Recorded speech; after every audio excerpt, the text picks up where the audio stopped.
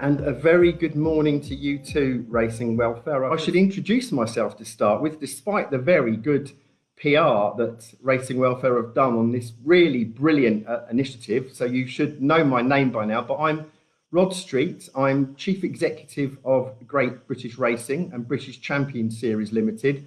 And crucially, and very relevant to today, I'm a Racing Welfare Trustee and a very proud and privileged trustee of what is a fantastic charity.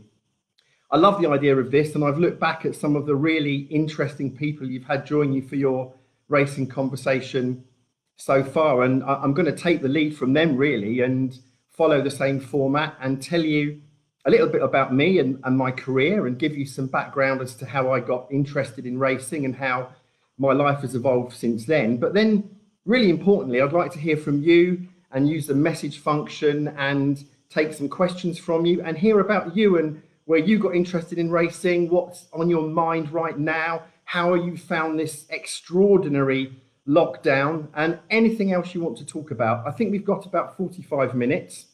Um, and so maybe the first 10 or 15 minutes I'll, I'll talk about my career, but I know about me. So um, if more interested is me knowing about you. Um, it all began for me, um, and it's often the case, isn't it, that somebody introduces you to the sport of, of horse racing. And in my case, it was my mum's partner back in the in the, the late 70s when I was still a boy. And he was a board man in a betting shop. His family had a, a chain of betting shops on the south coast. We, we don't have boardmen anymore, do we? But it was a, a something I, I remember vividly. And he was a keen racing fan, and when he wasn't working in the shop, he'd be watching it on the, the television back in the days of the original ITV and the ITV7. And as a, a curious kid, I would ask him why he was going, you know, getting so excited in front of the TV screen and so animated. And he was very kind and, and very patient, and he introduced me to to, to racing and indeed um, betting on racing. And his favourite bet, I always remember this, was a patent. He loved to do a a 10p patent on a on a on a, on a Saturday, and, and and that that was my first bet too. So that was the the, the interest in the sport, and then um, in the in the early 80s. Um, along the road from me, there was a guy that I went to school with called Warren Holt, and I don't expect any of you to know that name, but the surname's quite recognisable because his older brother, a couple of years above me at school, was Simon Holt, the uh, racing commentator, and we struck up uh, a great friendship, which we we have to this day. And Simon was an absolute racing aficionado by then, and we we found this shared interest. And Simon always knew an awful lot more about the sport than than I did, and that remains very much the case to this very day. Um, he would go to Fontwell Park, I remember, when he was probably still a, a teenager with a cassette recorder and record commentaries and, and, and test himself to see if he could make it as a commentator. And we all found out the answer about that. He's been a, one of the, the UK's, if not the world's, finest racing commentators for many, many years. So it was really, really lucky that through family circumstance and through friendship circumstance, I had this entrance into horse racing. Um, an early memory, and it's in one of the photographs shared, thinking of one of the horses I, I really first got engaged with, um, was Borough Hill Lad, uh, the brilliant Gold Cup winner trained by Jenny Pitman. Such an athlete, such a, a, a talented horse. Um, and I think, again, were it not for, for injury uh, in his later career, he, he, he definitely had the potential to win more Gold Cups. Um, years later, I noticed that a, a horse that, that people are, are, quite affectionate about, even nowadays, Might Bite, had really, really similar racing colours to Borough Hill Lad. And I mentioned it to the owner, and, and the owner said it wasn't coincidental. He was also a huge fan of Borough Hill Lad, and he wanted a set of colours that that resonated with um, with that horse. So that was that was one of the first horses that really did it for me, which would have been in, in the early 80s, around 1982. Um, I didn't when I when I left school go straight into horse racing. That took some years before I made my way in the sport. Um, my mum's partner had two huge influences on my life, really. Um, the racing interest, and also he was a really brilliant performer. Um, and very specifically, he was an Elvis impersonator. And we would go on holiday every year to holiday camps around the country in Devon or Cornwall or in Great Yarmouth. And he would enter the talent competition and he invariably win it. And he'd wear the whole rhinestone jumpsuit and do a couple of numbers. And he was really, really good. And I really fell in love with that world, the world of, of entertainment, of holiday camps, and, and all that, that went with it. And so my my first um, job was uh, as a blue coat at holiday camps, um, then owned by Ladbrokes, funnily enough, with those um, racing and betting connotations. Ladbrokes had camps all around the country. And so the first couple of years of my life were, were very much hidey hi, hody ho. Um, that led to a career in travel and tourism. And I went from working in the UK to working overseas. And I worked in Spain and Turkey um, and America. And I became a manager for a tour operator looking after different uh, regions uh, of Europe overseas. And it was all very customer focused and leisure focused. And you learn a lot. Um, people's holidays are quite rightly tremendously important. People work hard all year, they have their two week break a lot is invested in it, both financially and emotionally, and you only have one chance to get it right. And so that was a, a, a great learn for me over the years in, in delivering customer service to people, in solving any number of problems, and you get any number of problems when you're in the, the holiday business. Um, but it was great grounding for me, and, and it still involved some entertainment. There were still weekly cabarets that I perform in and, and kind of kept my hand in. And that kept me quite busy until the early 90s. And in, in 1990, I came back to the UK having done this for a few years um, at the height of then the, the, the, early 90s recession and found myself largely unemployable. Um, so I started performing comedy and uh, I, I, come from Sussex, but I moved up to the Midlands to stay with a friend, um, which is where I eventually met my, my wife of 27 years. Um, and I started performing comedy in uh, in clubs uh, around the Midlands. I promoted comedy nights and um, sold tickets and, and, and learned a lot about getting bums on seats. I compared the events and I, and I also uh, performed not to any great standard.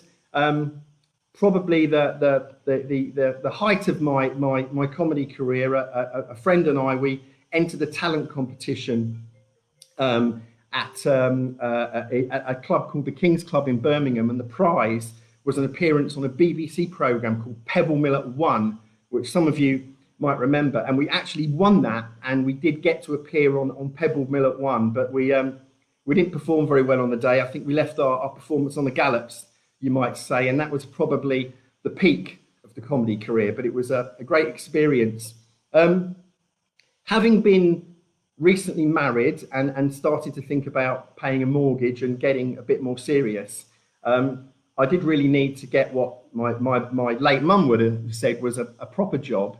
And um, one of the managers at a venue where I was performing cut out this tiny advert from the local paper and said, There's a job in here, you should go for it. And it was for an assistant commercial manager at Uttoxeter Racecourse this guy knew I was a racing fan, and we'd gone racing together um, on numerous occasions, and that was kind of our shared interest. And he said to me, "Look, you know, go for it. Um, you've got lots of experience in leisure.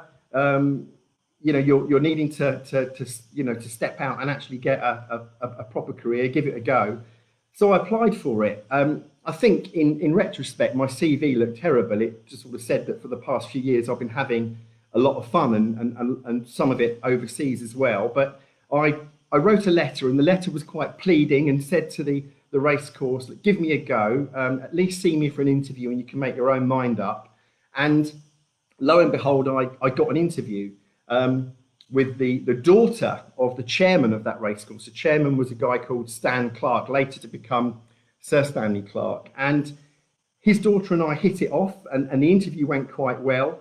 Um, and I was asked to come back and have a second interview with Stan Clarke, who was a formidable character, and he um, uh, again, for whatever reason, seemed to to take a shine to me, and I, I think it related to the fact that he was a self-made man. He'd been a plumber, and he'd been a, a plumber turned property millionaire, and um, I think he was a little bit distrustful of the racing establishment. Um, and all that, that went with it. He was quite new to it in that he'd only bought Uttoxeter Racecourse a couple of years prior from the local council when it had been in quite significant difficulties.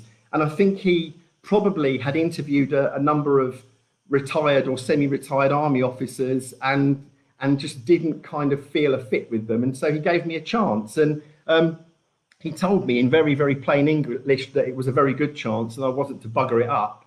And that was my entry into horse racing as an assistant commercial manager at Uttoxeter Racecourse. Um, and I suppose I, I, did I did grab the chance. It was wonderful to be working in a sport that I'd followed as a fan for such a long time. Um, and it was remarkable, all of a sudden, kind of being the other side of the wall. And, and I'm sure many of you will, will know this when you work or have worked within the sport. Um, you can be, you know, completely in awe of the people you're dealing with. I think in the first week at Uttoxeter, one of the first phone calls I, I, I took was from Jenny Pitman, who um, gave me a bollocking about the state of the ground at Uttoxeter, despite the fact that wasn't my responsibility. Um, I couldn't quite believe I was talking to people like that. Um, that was 1994, and they say that timing is everything. It, it came at a moment in time when Stan Clarke was really interested in the racing business and was acquiring racecourses. And by the time we got to 2003, which is quite some journey, we'd acquired nine courses um, Brighton and Fontwell in the south, Newcastle in the north, um, uh, Sedgefield and uh, Chepstow, um, Hereford, um, and a, real favourite of mine, Great Yarmouth Racecourse. So it was remarkable to go back to my old blue coat stamping ground where we had a, a race course. And during that journey, and again, timing is, is everything, I managed to um, I managed to work my way up, uh, up, up the ladder, and, and I went from being an assistant manager to a manager to a commercial manager, and somehow ended up as group managing director of the, the company in 2003. Um, um, at a time that we floated the company on the uh, on the AIM um, market and became a, a, PLC. So it was a, a real journey. Um, I think Sir Stanley Clarke, and he was Sir Stanley by then, maybe had you know an idea about what was going to happen in, in my career before I did, and he was very very supportive, and he was a, a tremendous mentor. You may remember him, those of you that are closer to, to national hunt racing, as as the owner of a a, a really decent um, Grand National winner in Lord Gyllene, who won that race in in 1997. But that was my that was my journey in horse racing and through running race courses. And um, really, the principles of travel and tourism have never been far away because the racing experience is a social experience for many people, um, and it's certainly a customer experience. People who choose to go racing as an owner or as a, a race goer, as a punter, for whatever reason, are, are spending their disposable income on uh, the on the racing experience, and you've got a, a job to deliver it for them. And, and, and again, you only you only get one chance to do that right. So that's my my early racing career, and I've been so fortunate to be associated with so many race courses. So Stanley sadly died in 2004 and a, a few years later, the, the family and the company took the decision to sell Northern Racing, um, and it was sold in 2007. At which point, I decided it was time for me to go and try and do something else, having been there for such a long time. And I initially took a little bit of time out, and we had still then a, a fairly young family. We've got um, four children, um, which has kept us busy, particularly my my wife. Uh, we bought a television now. I should I should add.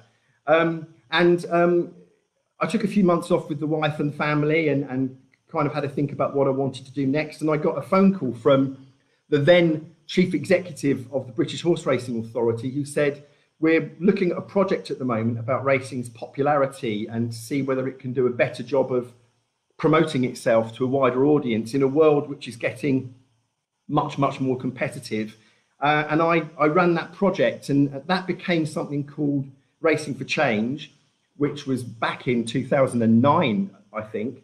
Um, and that subsequently became Great British Racing, which is the sport's promotional arm and marketing arm. And we've now been established for a good 10 years. And, and the role of, of Great British Racing is a very simple one it's to engage more people with the sport and to share our passion for something that we know is tremendously engaging and exciting with a, a wider audience. And all that Great British Racing focuses on is pulling people in. And there are many different ways that we do that. We use our jockeys as, as ambassadors, and some of the younger jockeys now are fantastic um, in the way that they're presenting themselves. If you think of the likes of Oisin Murphy and Tom Marquand and Holly Doyle, we've got some terrific ambassadors, and the same over over the, the jumps with the likes of, of Harry Cobden and, and, and many others. Um, we tell the stories about our horses. The horses are the heroes. If they could speak, they could do an even more remarkable job for us. But um, telling the telling the, the stories of equine achievements is incredibly important to us.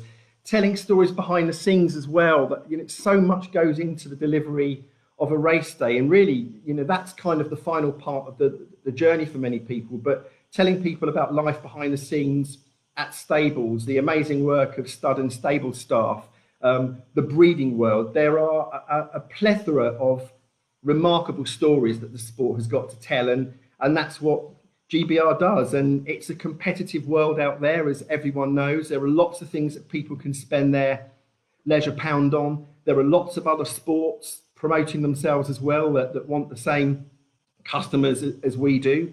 Um, life is is challenging and it's it's ever been thus, but we think that, that, that GBR has a really important role in the sport because we're very proud of the sport we've got and the stories that we've tell. And that kind of brings me up to date, really.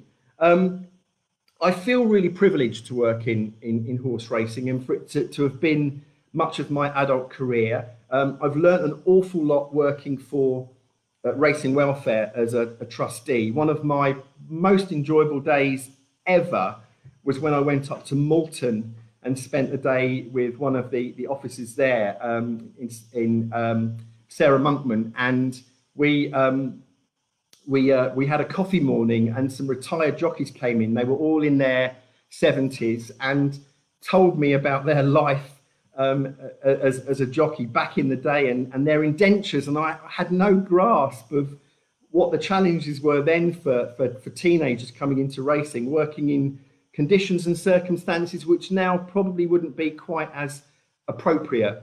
But it was a wonderful, wonderful day up there. Um, I've been for a spell the chairman of the, prof- uh, of the Professional Jockeys Association as well. And again, that was a great privilege to learn more about the role of the jockey and the challenges that, that they have. And, and now, in the role that we play at Great British Racing at the centre of the sport, um, it's, um, it, it, involves me with everyone um, tremendous charities, breeders, owners, trainers, the race courses, and, and importantly, the customers. So I feel very lucky. Um, that's not to say I don't have bad days, because um, I do have bad days, and I've had a, a, few during lockdown as well, which has been tough for, for so many people. But I'm conscious that bad days tend to follow you around regardless of the job you do, um, as do um, as do politics and all of the other things that make life sometimes rewarding, but also sometimes very complicated.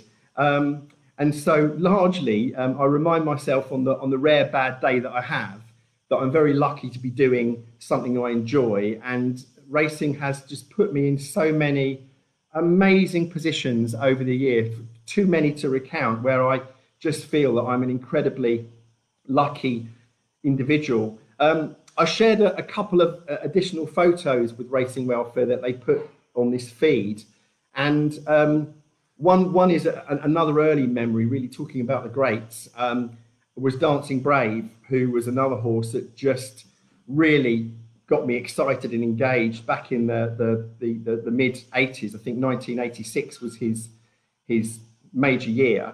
Um, I, I, remember going to the, the Derby that day when it was still on a Wednesday. Uh, and, and I think I bunked off work. I think everyone used to bunk off work for the Derby, though. I think that was okay. Um, and I went with Simon Holt and, and a few friends, and we just thought this horse was bomb proof. And I remember kind of staring open mouthed as he as he didn't quite make it to the to finishing post and was beaten by Shahrastani. He obviously went on to win a King George and to win an Arc and, um, to beat. We maybe came to a, a natural point really um, in this when I was just really finishing up anyway and, and talking about Champions Day and how fortunate we were with Champions Day that when we launched in 2011, um, it came at a time when we had Frankel come along. And I was there at Newmarket in, in 2011 when he won the Guineas in a style that may never be surpassed, and was there in 2012 for his last run, which was in the Champion Stakes, uh, and where he ended his 14 race um, unbeaten to uh, unbeaten career and ended up as the highest rated horse of all time. And it was just such a privilege to see him run so many times. And and he came along at a time I think that was brilliant timing for British Champion Series because he got us off to a flying start. And as I've referenced earlier on in the chat, life is often about timing. I think there have been a a few sliding doors moments for me along the way when um,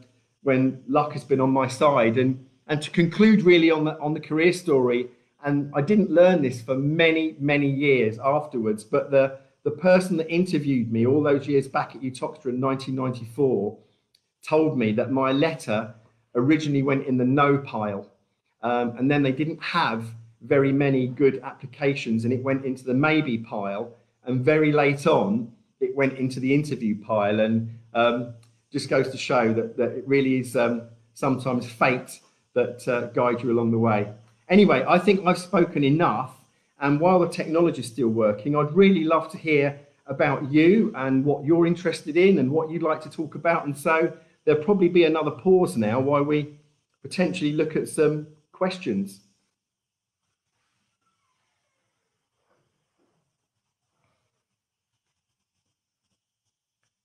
Oh, so Racing Welfare are asking me what was my best joke from the, the, the, the comedy scene. I, I think really um, the fact that I didn't make it as a comedian probably suggests I didn't have a best joke.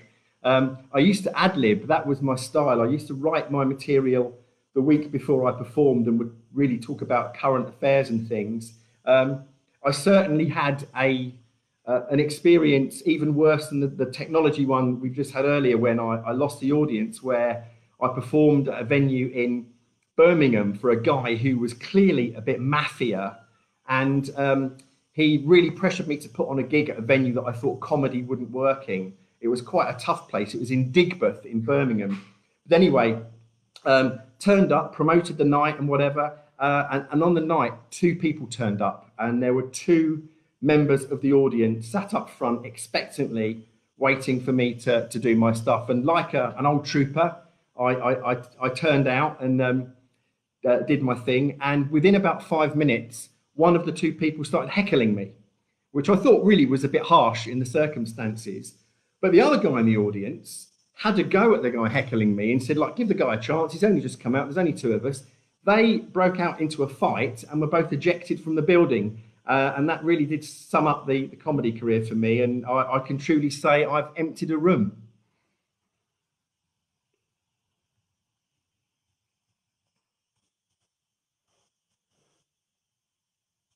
Oh, what a great question. We've got a question from Fran Marshall, um, who, who said, Morag and I came to Uttoxeter for your first Sunday meeting. Uh, I work for Kelso, and we were also able, we were also uh, to have a Sunday meeting. Was I responsible for the trumpet fanfare and the entrance flags, or was it Sir Stan? It was completely Sir Stanley Clarke. He loved his theme music for all of his race courses, this military marching uh, music. Um, trumpet fanfares at the beginning of races. Um, he loved he loved flags. He loved badges. Welcome to Uttoxeter. Welcome to Yarmouth. Welcome to Brighton. Everyone had to have the, the big coat hanger smile and, and the badge. And I remember wherever we were racing around the country, Stan would be on the phone checking that the music was playing. And I think Alastair Down once wrote about it, and, and he had a theory that, that Stan liked the music because it had everyone who worked for him marching in time to his beat, which kind of feels about right. So what a, what a great memory. Um, I've got some more questions here. This is this is terrific. Um, I vivid. Oh, so this is a this is a question about Frankel uh, winning the champion stakes, and it was a real uh, I was there moment. Do I have any moments like this, racing or otherwise, that, that really got me?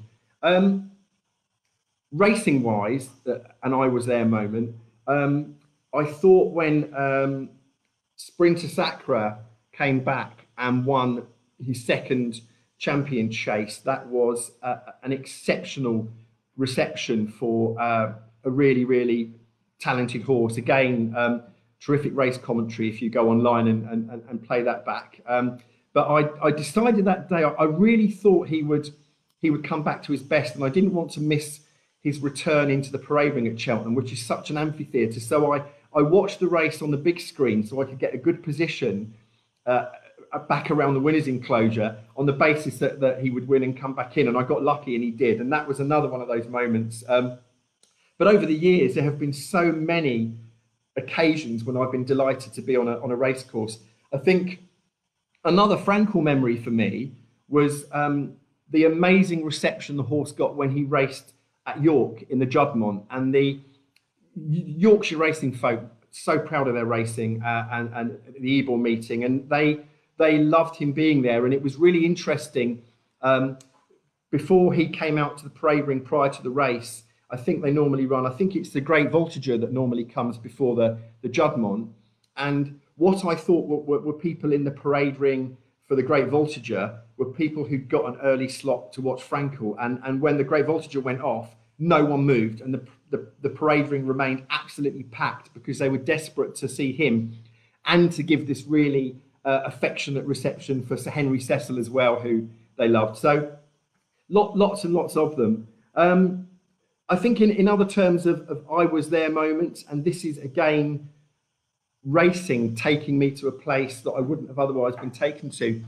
When racing was on the, the BBC, um, we were at Northern Racing all sent two tickets to the Sports Personality of the Year Awards. And one year, and a very important year, of the Millennium Year, um, my chairman, Stan Clarke, decided to take me on the other ticket. And down I went to London to the studios and it was the year that they celebrated the sports person of the millennia, and it was awarded to Muhammad Ali, who who then was you know a very frail man um, with his um, Parkinson's disease. But at the end of the show, when the lights went up, um, I don't know what possessed me, but I, I came out of my seat and ran down the aisle and got to shake his hand because I just wanted to tell my kids and grandkids that I got to shake the hand of the greatest. And I didn't feel too bad because by the time I got to, to, to, to join the queue to shake his hand, Sir Alex Ferguson and Mike Dillon of Ladbrokes were in front of me and they clearly thought the same thing. So that was a lovely I was there moment. Um, Derek is asking um, what we do, what, what we'd like to see happen to promote racing more than it is now. Um, I think it really is generally well promoted, not just by Great British Racing, but by ITV. I think the sport is is remarkably fortunate that not only does it have two digital channels in Sky Sports Racing and Racing TV, but it's on terrestrial television every single week, 52 weeks a year. And so I think the sport reaches a lot of people. I think we can still do better at our storytelling. And, and I think what really captures people's imagination is human interest stories. And so the more stories we can tell about the people behind the scenes in racing, what actually goes into getting a horse to the races, what happens post their career are greater opportunities we can we can tell. Um, in an ideal world, I'd like the sport to have more money to be able to do a bigger national marketing campaign to encourage people to come racing and to to get to feel what we feel about the sport. But being realistic right now after coronavirus, the challenges we have with racing finances, I think we're going to have to do a, a lot of a, a, lot of our work with with our, our, our general promotions and working with broadcast partners because I don't think the money will be there for some time. And if the money is there, I think we have some other other priorities. Getting some really nice questions here. Um, oh, Chloe was there for Sprinter Sacre as well. That's interesting. So we're on, on the same page there. Um, Paul Dalton, um, who I, I know well from his days as a trainer in the Midlands and as a regular face at is asking um, one of his best days was winning the Dick Francis chase at Uttoxeter. And, and did I get to meet him? I did get to meet him because he did a, a book signing there. And, and I've got two or three signed books by him um, on my bookshelf still from that event. So yeah, um, I did I did get to meet uh, Dick Francis again. It's another one of those uh, amazing moments. Paul Paul Dalton, one of the nicest, smiliest people you could meet, who is now, of course, up in North Yorkshire. Who um, I, I I think I saw on one of my my my visits up there. How nice to see Paul um, Paul there today. And I'm just scrolling down through um, through all of these um, all of these other other questions to make sure I've not I've not missed any. Racing Welfare are, are asking me um, if there's anything else we can do to promote racing more effectively, taking the lead from other sports.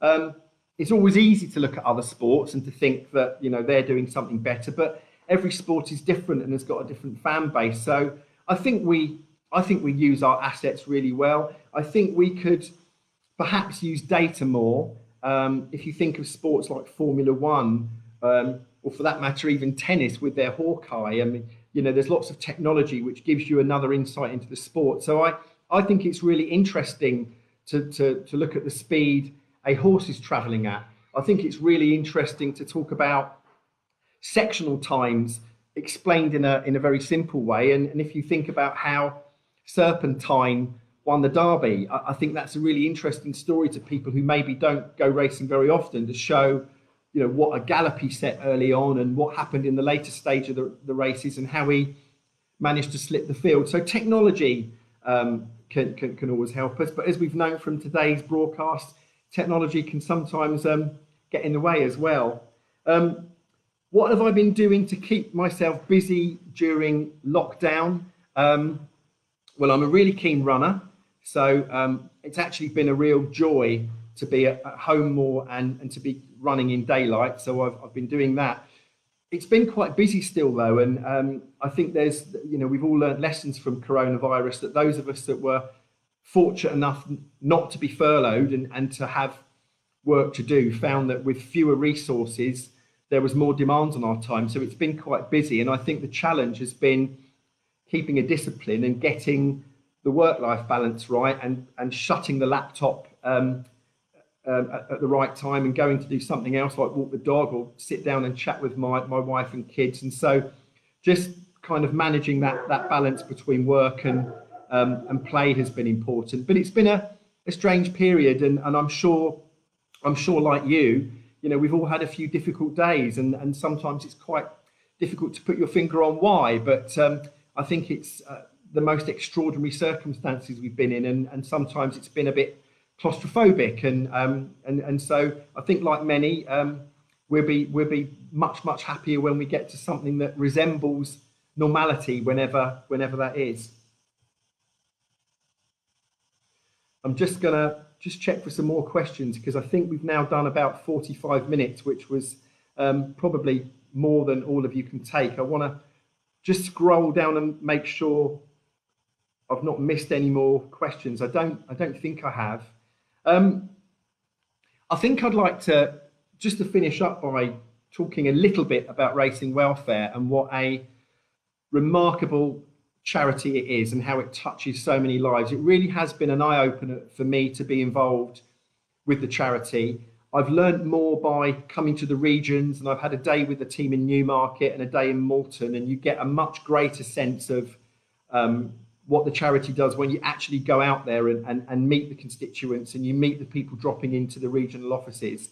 Um, and I think despite the challenges that we've had with coronavirus in, in recent months, a real positive has been that more people know the great work that Racing Welfare do. And through the, the efforts of all of the Racing Welfare team, we've continued to raise important funds when our services have been in uh, ever greater demand. Um, and so um, it, it, it's just been, a, I think, a very positive spell for racing welfare in showing the industry um, what an important job it is. And, and despite the challenge, I think racing welfare will come out of this extremely well. It's been great fun working with them on a few ideas. The furlong factor, Great British Racing supported racing welfare in, and um, that was a, a, lovely distraction from some of the challenges early in lockdown and to see what talent we've got out there beyond the, the, the, the tremendously talented people who work in the equine world. We've got some great performers, and I'm sure we'll be doing another furlong factor. Um, and two more quick questions uh, for Maureen. Entrance, entrance fees may need looking at after this virus, as quite a lot could be unemployed. Yes, I think the world will change. Uh, I, I, think that race courses will have to give great thought to what the the number of race goers is going to be in, in 2021 and, and beyond. It's a, an important point. And Mark Lode, Mark Lodes is asking me, will I be joining us for the, the Qatar Goodwood Festival virtual preview tonight? Yes, I bought a ticket last week, uh, bargain at a tenner. Um, I went to the Ascot one, hosted by Nick Luck, and it was brilliant. And it was the first profitable Ascot I'd had in quite some years. So I'm hoping for more of the same from the panel at Goodwood. And, and maybe on on that note, I should thank you for joining today. It's been a real pleasure to talk a little bit about my career and and see some of you um, interacting. So thank you very much for putting up with me. Apologies about the internet crash halfway through, but that's life, isn't it, right now? And take care of yourselves, stay healthy and safe, and look forward to meeting you um, on a racecourse in due course. Thank you very much.